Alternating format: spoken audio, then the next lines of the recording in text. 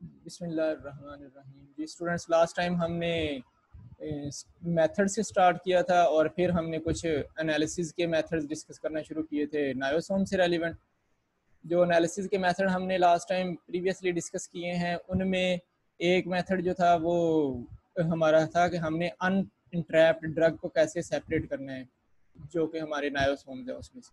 तो उसके लिए हमने तीन technique three techniques normally discuss की। One was dialysis in which we are using a dialysis tube, a dialysis tube uh, taking the sample of the niosomes containing the sample of the niosome. The niosomal dialysis tube will be suspended in a phosphate buffer containing saline buffer, phosphate buffer saline. The saline buffer will be of a hypertonic in a nature and it will draw all the solvent from the dialysis tube and only exclude niosomes. Then uh, if we uh, analyze this solvent which was drawn by the saline solution, by spectrophotometry we can find the quantity of the drug which is present outside and we also can separate the drug which is not entrapped within the lyosomes. Second method is gel filtration in which we actually use a gel-like column a column which is gel based. So gel based column,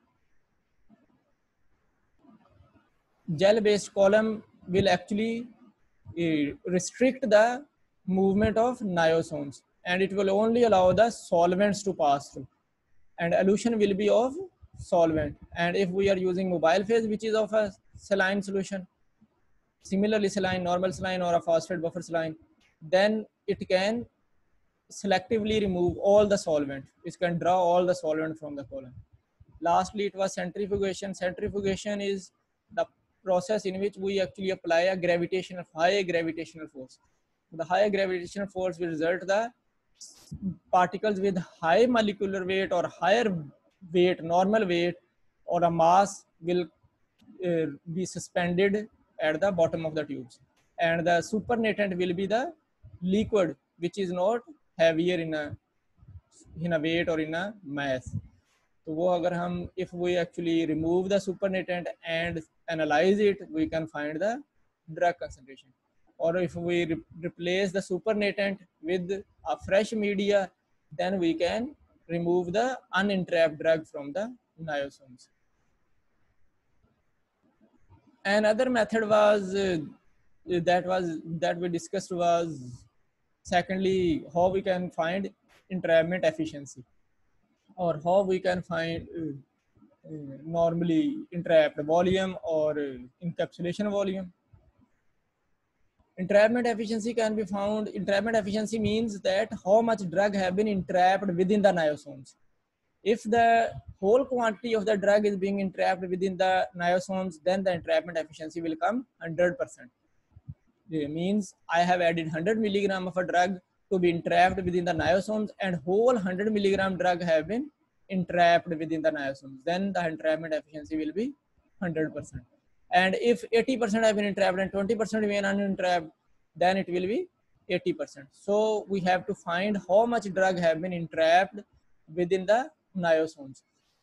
For this purpose, we actually disrupt the niosomes by using some surfactants or some solvents for example 50% n propanol or 0.1% triaxo uh, tritone x100 or 2.5% sodium lauryl sulfate can be used to disrupt the niosomes. The non-ionic surfactant will, ag will aggregate or will form some bonds with the surfactants we are using because these are ionic surfactants or solvents which are dissociating in nature so they will actually attach non-ionic surfactant will attach to these solvent or these surfactants and they will release the drug which is entrapped within those. And if we centrifuge that, so the non-ionic surfactant will settle down and supernatant will contain the drug solution, which will be assayed for entrapment efficiency. And the volume which will be removed from the niosomes in which we have actually checked the, we have assayed the drug, drug is known as encapsulation volume. Today, we will actually discuss the third method of evaluation, which is in vitro drug release study. हमने थोड़ी सी lab भी perform किया previously तो lab में भी हमने in vitro study की है तो कुछ प्रोजेक्ट्स जिनमें हमारा माइक्रोमल्शन थी या फिर नैनो पार्टिकल्स थे माइक्रो पार्टिकल्स थे या फिर पैच था उनके लिए हम डिफरेंट टेक्निक यूज़ करते हैं than the normal USP apparatus two USP apparatus two वो था जिसमें एक पैडल यूज़ किया होता है। पैडल से हम एक रोटेशन देते हैं, यानी कि हम आरपीएम एडजस्ट करते हैं, जो कि उस सॉल्वेंट को जिसमें वो रन हो रहा होता है, उस सॉल्वेंट में मूवमेंट जनरेट करता है, जैसे हमारी बॉडी में होती है। ये जो है, जब हमारी टेक्निक कुछ इस तरह की होती है, जिसको हम उस सॉल्वेंट के अंदर डायरेक्टली नहीं प्लेस कर सकते, कोई हमारी प्रिपरेशन इस तरह की है। तो फिर हमें डिफरेंट टेक्निक यूज़ करनी पड़ती है। फॉर एग्जांपल जैसे ये नायोसोम्स है तो नायोसोम्स सस्पेंशन है। तो सस्पेंशन को हम डायरेक्टली अगर ऐड कर देंगे सॉल्वेंट के अंदर तो वो सारे का सारा सॉल्वेंट सस्पेंशन बन जाएगा। और जब हम सैंपल विड्रॉ करेंगे तो वो सारे सॉल्वेंट के अंदर ही नायोसोम भी आ जाएँगे सैंपल के अंदर। तो ड्रग रिलीज़ का पता नहीं लग सकता, क्योंकि वो तो सैंपल हम अगर नायोसोम विड्रॉ करते रहेंगे तो फिर टोटल नायोसोमल कंसनट्रेशन ही कम होती जाएगी तो ड्रग कहाँ से बढ़नी है उसमें से? रिलीज़ का कैसे पता लगेगा? तो इसलिए हमें इनको किसी ना किसी चीज़ में इंट्रैप करना होता है। तो उसके लिए फिर डिफरेंट टेक्निक्स हैं। उनमें से एक टेक्निक जिसको मेम्ब्रेन डिफ्यूजन टेक्निक कहते हैं हम। इन विट्रो रिलीज़ स्टडी में मेम्ब्रेन डिफ्यूजन टेक्निक ये ऑपरेटस थ्री भी है। हमारे यूएसपी का थ्री और फोर जो हैं ऑपरेटस उनका थोड़ा सा मिक्सचर है जो कि हम टेक्निक्स यूज़ करते हैं, उनमें वैसे ही टेक्निक यूज़ की गई है। वो मेम्ब्रेन डिफ्यूजन मेम्ब्रेन डिफ्यूजन से मुराद है कि हमने एक मेम्ब्रेन लगा देनी है through which the drug have to diffuse from one preparation to another preparation. Means from niosomes to the dissolving solvent through the diffusion membrane. इसको हम मेम्ब्रेन डिफ्यूजन टेक्निक कहेंगे। तो मेम्ब्रेन जो हम कहते हैं, वो हमारे फ़िल्टर पेपर्स होते हैं। तो हमने मेम्ब्रेन फिल्टर्स पढ़े हुए हैं। मेम्ब्रेन फिल्टर्स में हमने प्राइमरली सेलुलोज फ़िल्टर पढ़े हुए हैं नायलॉन फ़िल्टर पढ़े हुए हैं कम्बिनेशन भी पढ़ा हुआ है, और थोड़े से और भी फ़िल्टर पेपर्स पढ़े हुए हैं। तो वो वाले फ़िल्टर पेपर मेम्ब्रेन फ़िल्टर इसलिए कहलाते हैं क्योंकि वो वेरी थिन होते हैं, और उनका 80 परसेंट सर्फेस जो होती है सरफेस एरिया जो होता है, वो कवर्ड होता है with pores only 20 percent intact होता है, बाकी सारे पोर्स होते हैं। तो वो माइक्रो पोरस होते हैं। तो normally point five micro point eight micrometer point five micrometer point two two micrometer और पॉइंट वन माइक्रोमीटर इस तरह के हमारे पास कॉमनली अवेलेबल मेम्ब्रेन हैं। तो जो 0.5 माइक्रोमीटर की है वो ज़्यादा कॉमन है या उससे बड़ी 5 माइक्रोमीटर की मेम्ब्रेन कॉमन है। इसके अलावा मेम्ब्रेन के साथ हम कोई डायलिसिस ट्यूब भी ले सकते हैं या डायलिसिस सैक जिसको कहते हैं हम। डायलिसिस सैक उसी तरह से एक डायलिसिस टेक्निक में जैसे हमने पढ़ा था कि ये डायल, एक मेम्ब्रेन होती है जो कि सिलेंड्रिकल होती है। तो सिलेंड्रिकल एक मेम्ब्रेन जिसका कोई डायामीटर होता है और ये मेम्ब्रेन जो बनी हुई होती है, ये बहुत से एक डिफरेंट पोर साइज़ की बनी हुई होती है। वो डायलिसिस सैक कहलाता है। या फिर डिफ्यूजन सेल कहलाता है, एक हम डिफ्यूजन सेल भी बना सकते हैं इससे। या फिर हम फ्रांस डिफ्यूजन सेल यूज़ कर सकते हैं इस पर्पज़ के लिए। फ्रांस डिफ्यूजन सेल देखा होगा बहुत से स्टूडेंट्स ने जिन्होंने काम किया है, जिन्होंने नहीं किया, उनको फिर इंशाल्लाह फिर दिखा दिया जाएगा Franz diffusion cell Franz diffusion cell मैंने एक दफ़ा लैब में ही शो किया था, फ्रांस डिफ्यूजन सेल जिसमें दो कंपार्टमेंट थे. तो इसके लिए हम आइधर डायलिसिस सैक यूज़ करेंगे या डिफ्यूजन सेल यूज़ करेंगे या फ्रांस डिफ्यूजन सेल यूज़ करेंगे. फ्रांस डिफ्यूजन सेल एक नॉन कंपेंडियल है डिफ्यूजन सेल कंपेंडियल है डायलिसिस सैक जो है, ये भी नॉन कंपेंडियल है। तो इनमें से हम कोई भी मेथड यूज़ कर सकते हैं। तो ये होल्ड कर सकते होते हैं normally one M L of the preparation हम डिफ्यूजन सेल में वन एम एल प्रिपरेशन डाल दें, जो कि two point five centimetre diameter का होना चाहिए सेल या फिर हम डायलिसिस हैक ले लें, उसमें वन एम एल ड्रग डाल दें, या हम फ्रांस डिफ्यूजन सेल ले लें। फ्रांस डिफ्यूजन सेल जो है फ्रांस डिफ्यूजन सेल में दो कंपार्टमेंट है। एक ऊपर वाला कंपार्टमेंट है और एक नीचे वाला कंपार्टमेंट है। तो दो कंपार्टमेंट है। एक यानी कि नीचे ग्लास की बॉडी है, एक उसके ऊपर ग्लास की बॉडी है। ऊपर जो ग्लास की बॉडी है, वो वन एम कैपेसिटी की है। नीचे वाली जो है, ये टेन एम कैपेसिटी की है। तो जैसे फिल्ट्रेशन असम्बली देखी हुई होगी सबने फिल्ट्रेशन असम्बली में नीचे एक फ्लास्क लगी होती है और उसके ऊपर एक होल्डिंग कप लगा हुआ होता है। होल्डिंग कप में हम वो मटेरियल ऐड करते हैं जिसको हमने फ़िल्टर करना होता है। और जो नीचे फ्लास्क लगी होती है, इन दोनों के दरमियान हमने एक फ़िल्टर पेपर लगाया हुआ होता है, जिसमें से हमने वो ऊपर वाला मटेरियल फ़िल्टर करके नीचे वाली फ्लास्क में अटेन करना होता है। इसी तरह का फ्रांस डिफ्यूजन सेल है, छोटा है। ये बड़ी कैपेसिटी की होती है, ये छोटा इसमें एक एम का ऊपर जो होल्डिंग कप है, वो लगा हुआ है, और नीचे इसकी एक दूसरा कंपार्टमेंट है, जिसमें टेन एम कैपेसिटी होती है। इन दोनों के दरमियान में गैप होता है इनको कनेक्ट किया जाता है ये यानी कि ओपन होते हैं। तो इनको कनेक्ट करने के लिए हम दोनों को आपस में कनेक्ट करते हैं with by using a filter paper हम इनके दरमियान एक फ़िल्टर पेपर लगा देते हैं जो कि पॉइंट फाइव माइक्रोमीटर का हो सकता है। अच्छा। इसी तरह से डिफ्यूजन सेल अगर हमने लिया है तो सेल जो है वो दोनों साइडों से ओपन होता है। या फिर एक साइड से ये क्लोज होता है और एक साइड से ओपन होता है। एक साइड पे हम क्लोज कर सकते हैं, उसके साथ यूटिलिटी होती है ये कि हम इसको क्लोज कर सकते हैं और एक साइड ओपन होती है। तो जो ओपन साइड होती है, उस साइड से हम इसके अंदर नायोसोमल सस्पेंशन डालते हैं। डायलिसिस सैक भी एक साइड से ओपन होता है और एक बंद होता है। तो जो साइड इसकी ओपन होती है, उस साइड से हम इसमें one M L niosomal preparation डाल देते हैं। फ्रांस डिफ्यूजन सेल के ऊपर वाले कंपार्टमेंट में हम one M L niosomal preparation डाल देते हैं। अब ये फ्रांस डिफ्यूजन सेल के तो दरमियान में हमने लगा दी एक फ़िल्टर पेपर और हमने इसको रन कर दिया। जो डिफ्यूजन सेल है या डायलिसिस सैक है क्योंकि ये एक ही चीज़ है, एक ही कंपार्टमेंट तो इसको जब भी हमने ऐड करना है तो इसको हमने फिर किसी एक बीकर के अंदर ऐड करना है। तो जो उनका लोअर ओपन एंड होता है, जहाँ से हमने नायोसोमल प्रिपरेशन डाली है, उस साइड पे हम एक मेम्ब्रेन टाई कर देते हैं या उसको बंद कर देते हैं, वो क्योंकि एक सॉलिड किस्म की सिलेंड्रिकल ट्यूब होती हैं ये तो इनको नीचे से हम टाई कर देते हैं। इधर ऊपर हम चढ़ा देते हैं फ़िल्टर पेपर और उसके गिर्द बाँध देते हैं, कोई ना कोई चीज़। तो फ़िल्टर पेपर टाई कर दिया जाता है, यानी कि ये ओपन एंड है नीचे से तो इसके ऊपर यूँ फ़िल्टर पेपर लगाया और इसको हमने टाई कर दिया इधर से।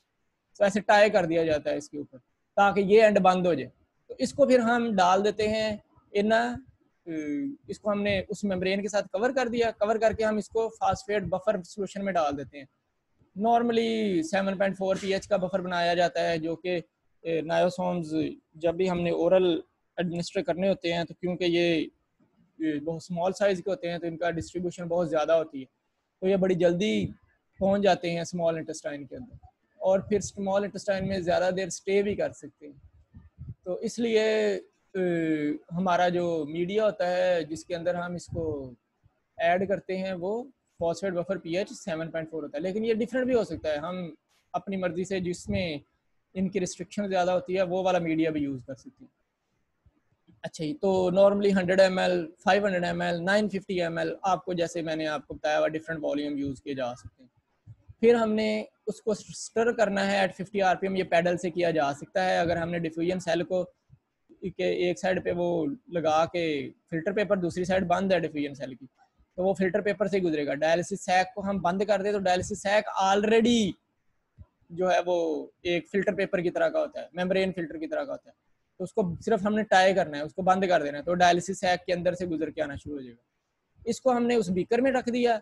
बीकर में रखने के बाद हमने 50 आरपीएम की स्पीड पे उसको रोटेट करना शुरू कर दिया, पैडल के साथ 37 डिग्री सेंटीग्रेड मेंटेन कर दिया। या फिर हमने ये काम मैग्नेटिक स्टरर पे कर लिया। मैग्नेटिक स्टरर पे क्योंकि ये रेवोल्यूशन कंट्रोल करना बहुत डिफ़िकल्ट होता है तो अगर हमारे पास कंट्रोल्ड रेवोल्यूशन वाला मैग्नेटिक स्टरर अवेलेबल है तो हम उसके ऊपर ये कर लेंगे कि हम उसको 50 RPM normally Franz diffusion cell के अंदर एक मैग्नेट ऑलरेडी जो है वो प्लेस्ड होता है। तो ये मैग्नेटिक स्टर के ऊपर रखा जा सकता है और उसकी हम स्पीड 50 आरपीएम पे एडजस्ट कर दें। और उसको हम थर्मोस्टेट नीचे जो है, उसका टेम्परेचर हम 37 मेंटेन कर दें। थर्मोस्टेट होना चाहिए वो। उसमें फिर हम मेंटेन कर दें तो हम उस पर इसको रन कर देंगे। फिर हम सैंपल विड्रॉ करेंगे। उसी तरह से सैंपल विड्रॉ करना है, जैसे डिजोल्यूशन में करते हैं। तो हम एट डिफरेंट टाइम इंटरवल्स पे सैंपल विड्रॉ करेंगे और जो सैंपल विड्रॉ हो गया है, उसको हम रिप्लेस भी करेंगे with equal volume of fresh phosphate buffer फिर ड्रग कंसनट्रेशन को हम स्पेक्ट्रोफोटोमेट्रिकली एनालाइज कर लेंगे। और इससे हमें जो डाटा ऑब्टेन होगा, उससे हम amount of drug release amount of drug find करेंगे और फिर हम उसके ऊपर काइनेटिक एनालिसिस लगा के हम ये भी बता देंगे कि किस मकैनिज़म से ड्रग रिलीज़ हुई है। क्या वो मकैनिज़म डिजोल्यूशन कंट्रोल्ड रिलीज़ है या वो मकैनिज़म डिफ्यूजन कंट्रोल्ड रिलीज़ है? क्या वो जो जिस मकैनिज़म से रिलीज़ हुई है, वो कंसनट्रेशन डिपेंडेंट था या वो कंसनट्रेशन इंडिपेंडेंट था?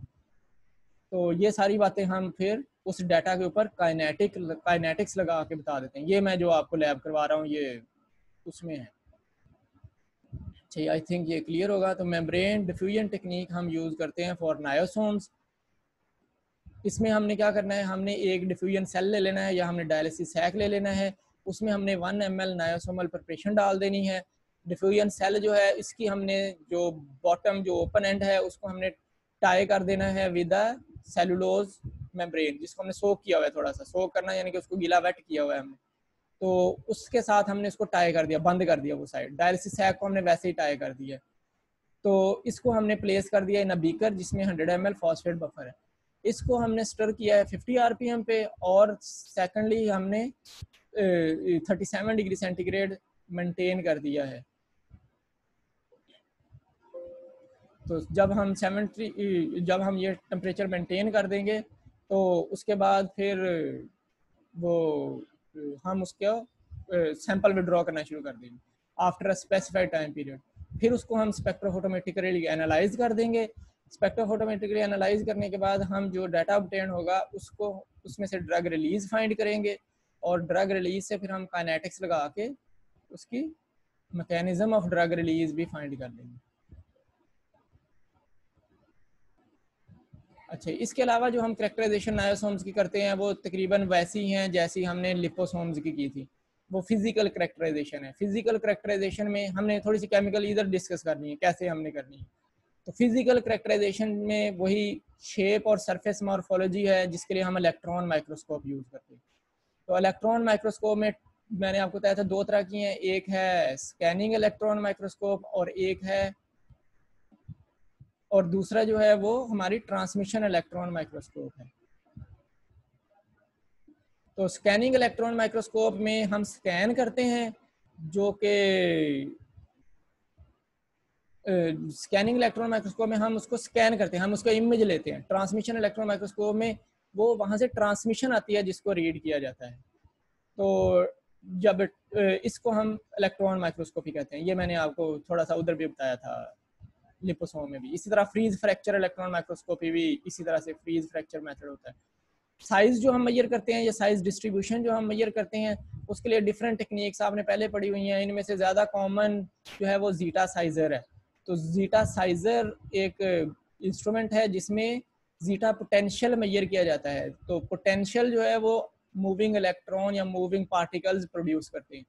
वो मूविंग पार्टिकल हमारे चार्ज पार्टिकल होते हैं, क्योंकि हमने नायोसोम बनाया होता है तो इसमें चार्ज पॉइंट्स भी डाले हुए हैं तो ये भी चार्ज पार्टिकल होता है तो ये कुछ पोटेंशियल जनरेट करता है। तो पोटेंशियल की जो एक्चुअली जीटा पोटेंशियल की वैल्यू जो होती है, वो इसका साइज़ बताती है। कितना साइज़ है इसका, जो कि इतना पोटेंशियल जनरेट कर सकता है, क्योंकि हमारा स्टैंडर्ड भी होता है तो उससे हम कंपेयर करते हैं। इसके अलावा कुछ टेक्निक में एक gel permeation and gel exclusion chromatography भी होती है। तो जेल परमिएशन या जेल एक्सक्लूजन क्रोमेटोग्राफी में हम एक जेल के अंदर से पास करते हैं नायोसोमल प्रिपरेशन को। तो वो जेल के जेल जो है वो रेजिस्टेंस देती है पार्टिकल्स को मूव करने में। हाई वेट के जो हाई साइज़ के हायर साइज़ के मालिक्यूल्स होंगे, वो ज़्यादा रेजिस्टेंस उनको फील होगी फॉर मूविंग थ्रू जेल और फिर ये इलेक्ट्रोड के ऊपर आके एलूट होते हैं, या फिर एलूशन होती है। क्रोमेटोग्राफी है तो एलूशन होती है इलेक्ट्रोड पे एलूशन होती है, वो हम वहाँ से लेते हैं। तो सबसे पहले वो वाले पार्टिकल आएँगे जो सबसे स्मॉलर साइज़ के। वो पहले आते हैं, फिर उसके बाद उससे बड़े, फिर उसके बाद उससे बड़े। तो हमें पता होता है कि कितने टाइम में इस साइज़ का पार्टिकल अलूट कर सकता है। तो जिस टाइम के ऊपर वो अल्यूशन होती है जेल में से वो टाइम नोट कर लिया जाए तो हम उसका साइज़ डिमॉन्स्ट्रेट कर सकते हैं। तो exact size gel permeation chromatography से बताया जा सकता है, क्योंकि क्रोमेटोग्राफिक टेक्निक हमें पहले से ही एक स्टैंडर्ड के साथ कंपेयर करके बताना शुरू हो जाती है। अच्छा सरफेस चार्ज चार्ज मेजर करना होता है, वो फ्री फ्लो इलेक्ट्रोफोरेसिस ये हमने नायोसोम लिपोसोम में पढ़ लिया था। इसी तरह इलेक्ट्रिक सरफेस पोटेंशियल या सरफेस पीएच ये हम किसी भी पीएच मीटर के साथ चेक कर लेते हैं। लेमिलैरिटी हमने लेयर चेक करनी होती है तो उसके लिए हमें एनएमआर करना पड़ता है। या फिर इलेक्ट्रॉन माइक्रोस्कोपी करनी पड़ती है, या एक्सरे स्कैटरिंग करनी पड़ती है। तो हम एक्सरे स्कैटरिंग करेंगे, वो इसका इमेज देंगे तो उससे हम लेयर्स फाइंड कर लेते हैं। एनएमआर करेंगे तो न्यूक्लियर मैग्नेटिक रेजोनेंस होती है तो रेजोनेट होती हैं लेयर्स रेजोनेंस से पता लग जाता है। इलेक्ट्रॉन माइक्रोस्कोपी उसका इमेज लेने के लिए होती है। फ्रीज फ्रैक्चर फ्रीज करके हम उसको फिर मेल्ट करते हैं। एक्चुअली वो फ्रैक्चर हो जाती है तो फ्रैक्चर्ड मेम्ब्रेन हमें नज़र आती है। फ़ेज़ बिहेवियर भी इसी तरह से फ्रीज फ्रैक्चर इलेक्ट्रॉन माइक्रोस्कोपी से किया जा सकता है, या फ़ेज़ के लिए हमने पढ़ा है कि फ़ेज़ चेंजेस जो है, वो डिफरेंशियल स्कैनिंग कलरीमेट्री से पता लगता है डीएससी से पता लगाया जा सकता है। ये हीट चेंजेस इससे मेजर की जाती है। तो ड्रग परसेंटेज जो है, वो हम फाइंड कर सकते हैं ऑयन एक्सचेंज क्रोमेटोग्राफी से, क्योंकि ऑयन्स होते हैं ऑयन एक्सचेंज क्रोमेटोग्राफी से, इसकी रेडियो लेवलिंग से किया जा सकता है। या मिनी कॉलम सेंट्रीफुगेशन ये टेक्निक भी हमने पढ़ी थी मिनी कॉलम सेंट्रीफुगेशन जैसे मैंने आपको अन ट्रैप ड्रग के बताया है, इस तरह से ट्रैप ड्रग भी कॉलम सेंट्रीफुगेशन से निकाली जा सकती है। तो ड्रग रिलीज़ वो अभी हमने पढ़ा है, जो कि ये फ़िज़िकल में लिख दिया दोबारा से ये केमिकल प्रॉपर्टी है, ये फ्रांस डिफ्यूजन सेल से या डायलिसिस से किया जा सकता है। Last of our topic in niosome जो है, वो है stability of niosomes stability of niosome stability हम कहते हैं कि कोई भी प्रोडक्ट जब तक अपनी फिजिको केमिकल प्रॉपर्टीज़ रिटेन रख सकती है, वो टाइम पीरियड उसका स्टेबिलिटी टाइम पीरियड कहलाता है। हमने कोई फ़िज़िकल प्रॉपर्टीज़ डिमोन्स्ट्रेट की हैं, हमने कोई केमिकल प्रॉपर्टीज़ डिमोन्स्ट्रेट की हैं the time period it will retain 90 percent of its physical and chemical properties will be known as time of stability और टाइम ऑफ़ एक्सपायरी भी इसको कहेंगे। उसके बाद क्योंकि नाइन्टी से नीचे आ जाएगा तो वो टाइम ऑफ़ एक्सपायरी आ जाएगा। तो वो एक्सपायरी कहलाएगा तो हमने ये नाइन्थ सेमेस्टर में थोड़ा सा पढ़ा था इसके बारे में। तो उसी तरह से हम करते हैं। जब हमने देख लिया कि एक फार्मूलेशन जिसमें अनइंट्रैप ड्रग की क्वांटिटी बहुत कम है, जिसमें इंट्रैपमेंट एफिशिएंसी बहुत अच्छी है जिसका पार्टिकल साइज़ वो है, जितना हम, जो हम चाहिए, चाहते थे तो उस फार्मूलेशन के लिए सिर्फ़ हम स्टेबिलिटी स्टडीज़ करते हैं। तो वो स्टेबिलिटी स्टडीज़ बेस्ट फार्मूलेशन के लिए होती है, जिसको हम फिर स्टोर करते हैं different temperature and humidity level तो नॉर्मली हम एक्सेलरेटेड स्टेबिलिटी स्टडीज़ वो भी दो तरह की पढ़ी हैं हमने। एक हमने पढ़ी है इंटरमीडिएट एक्सेलरेटेड स्टेबिलिटीज और एक हमने पढ़ी है प्रॉपर एक्सेलरेटेड स्टेबिलिटी स्टडीज़ जो इंटरमीडिएट स्टडीज़ हैं उसमें हम 30 डिग्री सेंटीग्रेड याद होगा आपको। 30 degree centigrade plus minus two degree centigrade temperature रखते हैं। सिक्सटी परसेंट रिलेटिव ह्यूमिडिटी होती है प्लस माइनस फाइव परसेंट और इसको हम सिक्स टू ट्वेल्व मंथ्स के लिए स्टोर करते हैं। फिर हम एनालिसिस करते हैं। डेफिनेट पीरियड इंटरवल्स के साथ फार्मूलेशन को हम अवेलुएट करते हैं फॉर ड्रग कॉन्टेंट और कुछ नहीं फाइंड किया जाता। सिर्फ़ ड्रग कॉन्टेंट फाइंड करने के लिए हम एक डेफिनेट पीरियड के इंटरवल के ऊपर इन फार्मूलेशन को अवेलुएट करते रहते हैं। और दूसरा हम अगर देख लें तो डायामीटर हम फ्री फ्रैक्चर इलेक्ट्रॉन माइक्रोस्कोपी से उसका डायमीटर देख सकते हैं। लेकिन ये ज़रूरी नहीं होता। नॉर्मली एनालिसिस जो है वो वन वे ही होता है। वन वे में हम उसकी ड्रग कंटेंट फाइंड करते हैं कि वो डिग्रेड तो नहीं हो क्योंकि 90 परसेंट चाहिए तो 90 परसेंट हमें उसके एनालिसिस से ड्रग कंटेंट के एनालिसिस से पता लगेगा। हमें उसके डायमीटर से 90 परसेंट का आइडिया नहीं हो जाना। तो हम कंटेंट फाइंड कर लें तो वो 90 परसेंट होता है। ये तो स्पेसिफिकली अगर हम कहें कि इसका वेजिकल हमने कोई डेवलप किया हुआ था जो कि फॉर एग्ज़ाम्पल वो उसका वेजिकुलर साइज़ 100 नैनोमीटर था या 50 नैनोमीटर था तो क्या वो भी स्टेबल रहा है या नहीं रहा? तो फिर हमें फिर फ्रीज फ्रैक्चर इलेक्ट्रॉन माइक्रोस्कोपी भी करनी पड़ेगी। फिर हम ड्रग कंटेंट के ऊपर नहीं जाते, फिर हम फ्रीज फ्रैक्चर इलेक्ट्रॉन माइक्रोस्कोपी के ऊपर जाएँगे। तो कोई एक कहा वन वे एनालिसिस जैसे मैंने कहा वन वे एनालिसिस ही किया जाता है प्राइमरीली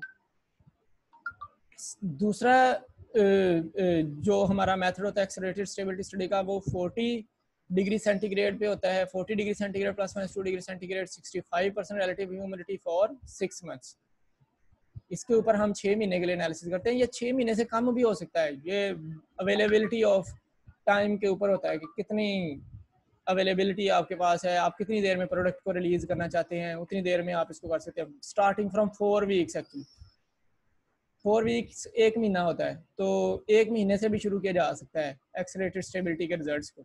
अगर एक महीना स्टेबल रहती है तो आप इसको किसी भी प्रिपरेशन में इमीडिएटली इमीडिएट यूज़ के लिए दे सकते हैं। यानी कि आपने वो बनाई है और इमीडिएटली वो डिस्पेंस होकर वो एप्लीकेशन हो यानी उसकी, यानी कि हॉस्पिटल में है तो उसके लिए हम वो स्टडी को बी एस पे दे सकते हैं। लेकिन जो नॉर्मली जनरल पब्लिक के लिए होती है मेडिकल स्टोर तक जाती है, उसके लिए छः महीने का डाटा ज़रूरी होता है।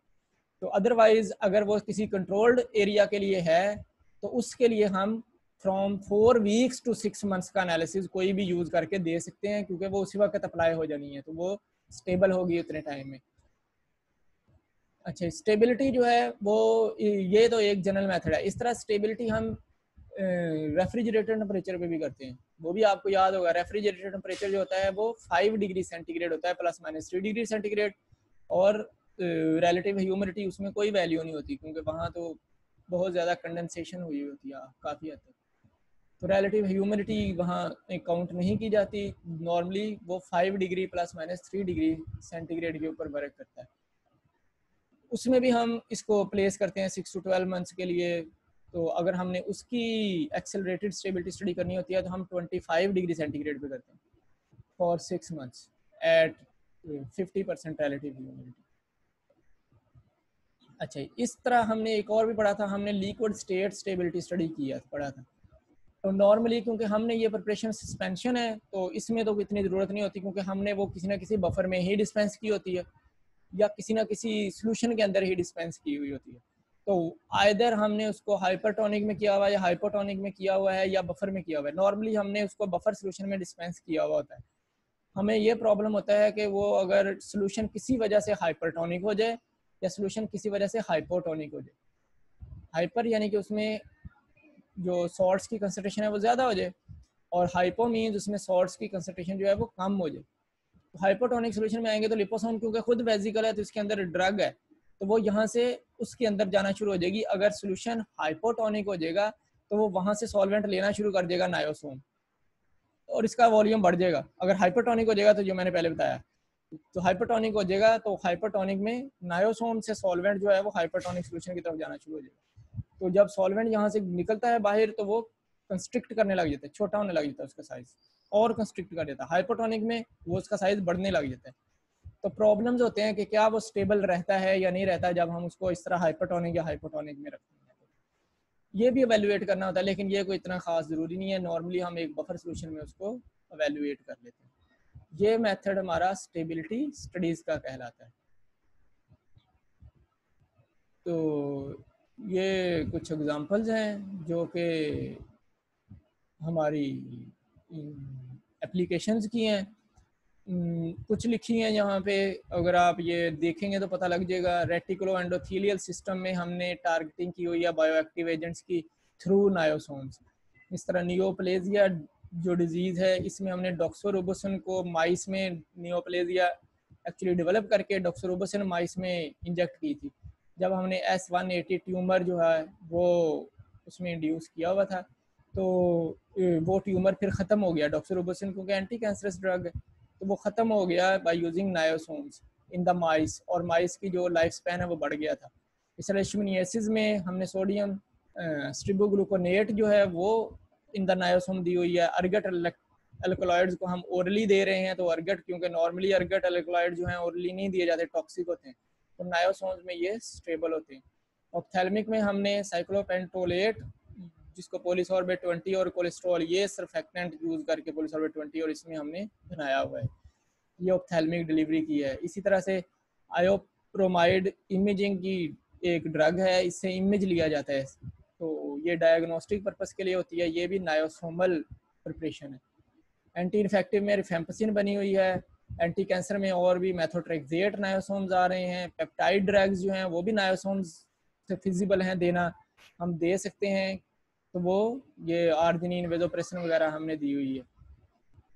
इस तरह एज अ कैरियर हीमोग्लोबिन के लिए हमने ये ब्लड की तरह का कैरियर जो आजकल हमने डेवलप किया हुआ है जिनमें जो थैलासीमिक पेशेंट हैं या उस, और ब्लड की डिज़ीज़ के और पेशेंट हैं, एनीमिक पेशेंट्स हैं, उनमें हमें हीमोग्लोबिन एडमिनिस्टर करनी होती है। तो वो हीमोग्लोबिन हम फिर ब्लड नहीं एडमिनिस्टर करते, हम नायोसोम्स के अंदर ही हीमोग्लोबिन को इंट्रैप करके वो एडमिनिस्टर करते हैं। तो ये एज आ कैरियर वर्क करता है। लास्टली हमने ट्रांसडर्मल पैचेस भी बनाए हुए हैं तो एस्ट्राडायोल रिथ्रोमाइसिन के ट्रांसडर्मल पैचेस अवेलेबल हैं। जिसमें फिर जो ड्रग हमने लोड की है पैच के अंदर, वो नायोसोमल प्रिपरेशन है। नायोसोम्स में ड्रग एडिड है। नायोसोम्स में वो ड्रग लोड की गई है।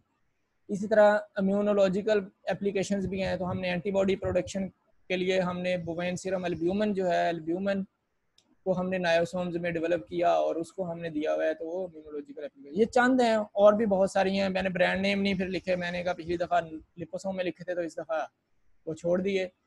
तो ये कुछ एग्जांपल्स हैं, इनसे ज़्यादा भी हैं, और भी एग्जांपल्स हैं।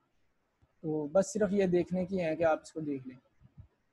जी बच्चों, कोई क्वेश्चन है तो वो बताएँ। यहाँ पे हमारा नायोसोम का चैप्टर ख़त्म हो जाता है।